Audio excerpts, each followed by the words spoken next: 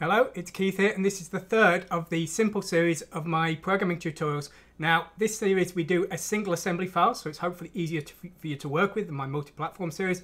We do something very simple for people who are looking to start writing their own game or program, and they just need a few basics to get started on, and then they're going to build their own stuff. So today we're going to look at the simple way of getting some graphics onto the screen, at least as simply as I can do it with the Enterprise, because it's a little bit tricky, but um, we'll get it. We'll get going reasonably easily, hopefully. And as I say, you can download the source code from my website and have a go with it yourself. So let's have a look at the code actually running, and then we'll go over the code and see how it actually works. I've got this massive window here with this tiny little smiley face. So this is an 8 by 8 sprite here. So if you were starting a simple game, maybe this would be enough for you. And of course, if you were looking to build a simple tile map or something, you could use this as the basis for the code to do that. We're going to look at a slightly larger sprite later on. So these two examples will hopefully be some help to you. Okay, so let's get started then. So this is the enterprise example here. Now we're starting our code at hexadecimal F0 here and we need to build a header for our file and that's what we're doing here. So this needs to be in the file for it to work properly. Now if you don't know how to make a file please see the enterprise episode of the hello world series where we looked at the absolute basics of compiling and things. We're just going to look at this code here. So now our program needs to start. So we've got the start address here. We need this for the length calculation here. And this is going to be effectively hexadecimal 100 in memory because this was the header here so the first thing we're doing is we're loading a stack pointer and we're pointing the stack pointer immediately before our file starts. So it'll start overwriting the bit of memory before the system calls the RSTs and things, but this should be plenty for general purposes. I think you'll probably find that's fine.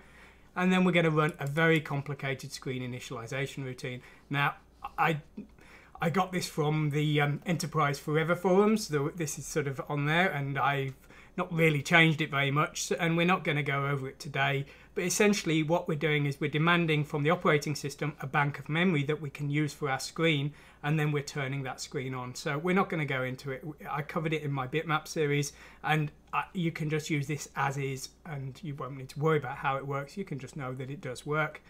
Now, the enterprise uses a set of definitions to define the shape and settings of the screen. So this is going to be a bit more interesting. So um, we're defining the height of the screen 200 lines here. We're setting up the screen itself here. Now the ones you may want to play with would be the color here. So we're using mode 1 here, 4 color mode, which is exactly the same format as the Amstrad CPC. There's also a 16 color mode, which is also exactly the same as the CPC. There's a 256 color mode, which is half the resolution of the 16 color mode, but has 256 colors. Now, the way the colors work, we can only define up to eight colors. Now, in the mode we're using today, we're only using the four color mode, so that's not a problem. The four colors are defined just here, and you can see the rather odd bit layout of those colors just here. But in the 16 color mode, we can only define the eight colors, and then there's a bias offset which changes the colors according to a sort of tweak. But as I say, I'm kind of recommending you use the four color mode here. And then we got some lines here to define the shape of the screen. So we're going to be having a 320 by 200 screen, again identical to an Amstrad CPC. But you would be messing with this if you were changing your colors, changing your screen mode, or changing the size of the screen. But if you're just happy with a CPC screen in mode 1, or as it would be called on the CPC, then this is going to be all you're going to need, and that's kind of what I'm recommending we make a start with. Okay, so what are we actually going to do? Well, we've got a simple sprite here. It's a smiley face, as you just saw, and the configuration is that the sprite is split into two bit planes. So effectively, this is bit 0 of 4 pixels, and then this is bit 1 here. And so you can see here, if there's only a, a 1 in the 0 part, then we are setting color 1. But if there's a 1 in the right-hand side and a 1 in the left-hand side, that would make it color 3. I'm just failing to select there. That, so if there's a 1 here and a 1 here, that would make it a 3. So the two kind of combined with bit 0 and bit 1 together to select the colours. So that's how we are going to work with this example. Now if you want to create your own sprites, I do have a useful tool that you can use. Now this is my AkuSprite editor, it's free and it's open source and I develop it alongside my tutorials. I originally wrote it to make the Chibi Akumas game. Now this is the test sprite we're going to see later, but you can just go to the Z80 option here, Elan Enterprise, File and Save as Raw Bitmap, and that will give you the file format in the correct format for this screen here. And this program doesn't just support mode 1, it also supports the um, 16 color mode, mode 0, and you can see that just here, it's half the resolution. It doesn't support the 256 color mode just yet. It's not something I've ever looked at on the Enterprise. Uh, if you're really interested in that, please let me know. I guess maybe I'll do it. Anyway, that's not what we're going to be looking at today. So we've got our test sprite data here, and we're loading that into DE here. Now we've got this command, get screen position. This is going to be the first thing we're looking at. Say we're just going to skip over screen init and just trust it does the job for us. So we're specifying an X position and a Y position here in BC, and then we call get screen pos, and this is calculating the memory address of the screen based on the X and Y position. Now each screen line is 80 bytes wide because it's 320 pixels, 4 pixels per byte. So we need to multiply the Y position by 80 or hexadecimal 50 and then we need to add the X position and then we need to add the start address of the screen which like on the CPC is C000. Now we don't have a multiplier on the Z80 so what we do is we actually load in and then we bit shift into the equivalent positions of the amount we want to multiply by. So 80 in binary would be 0101 here and so what we're doing is we're shifting to these two positions, you can see just here, and then we're doing an addition combining them together. Now this is the kind of thing, I, am sure you're probably confused by this because honestly I couldn't write this a while ago when I started learning things. So again, this is something I'm hoping you can just use as is to get you started and you don't need to worry about really how it works because it should work just fine for you. So that's how we calculate the first line of our screen when we start drawing the sprite.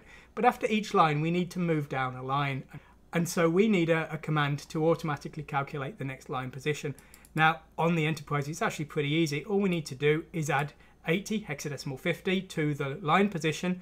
And if we've overflowed the L part, the low part of our pair, then we need to increment the H part, the high part. And so that will move us down a line based on our previous position. Now it comes to the actual code that's going to do the drawing of the sprite. Now each line of this example is just two bytes. So we're going to use B as a, a, line counter for each Y line, but then for the X lines we just need to write two bytes. So we're doing that here, loading in a byte here from this sprite, writing it to the screen, increasing both counters, loading in a byte, writing it to the screen, increasing the source counter of the sprite here. And then we backed up HL here, so we had the left hand side of the sprite. We restore it here, we calculate the next line, and then we decrease B, repeating to draw the next line of the sprite. So all we need to do to draw that smiley face, not so bad really. Now let's have a look at this more advanced example. It's basically the same, very little's changed here. So now we've got our little Chibiko character here. And you should recognize this because it was exported straight out of this, although not in that screen mode. There it is, it's just that sprite, I've just got a different palette here. Now I've exported the file with the option I showed you just a moment ago in my Sprite editor. So this is straight out of Sprite editor. We're specifying the path here to, to get that data. Now the sprite is 48 lines tall and it's 48 pixels wide. But because uh, we're working in bytes and there's 4 pixels per byte, then it's 12 bytes wide. Now this time we're going to use C here as our internal loop counter for the X line, so for each byte of the line. And we're going to use the B counter again for our lines so this time, we're going to just read in a byte, write it to the screen, increase both counters, and then decrease our counter until we've drawn a line. And then again, we're going to draw, move down to the next line, and then repeat again. And that's really all there is to it. So we're just drawing our sprite here. And so, you know, you could use this code for bigger sprites or multiple sprites, just change the source address and the memory location and the XY location, and that, you know, that will get you started with some nice simple software sprites. So there we go. I hope you found this interesting. Um, that's really all we're going to cover today. We'll be coming back to the enterprise again later in this simple series. We're going to be looking at some simple key input and things, and you know we'll, we'll try and build up the very basics of a little game that you could start to work with. Anyway, thanks for watching today, and goodbye.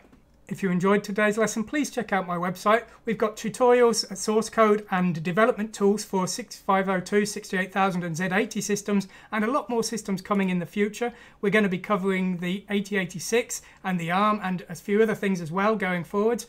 And if you've liked this lesson, if you've got questions, comments or suggestions on how it could be made better, please consider signing up to my forum. It's free of course and you can come along here and you can make suggestions, you can ask questions And if you've got assembly projects you're working on, please let us know what they are. Maybe show off a few screenshots, tell us what things you've found interesting or what tricks you've come up with, because we'd love to know about it. Anyway, thanks for watching today and goodbye.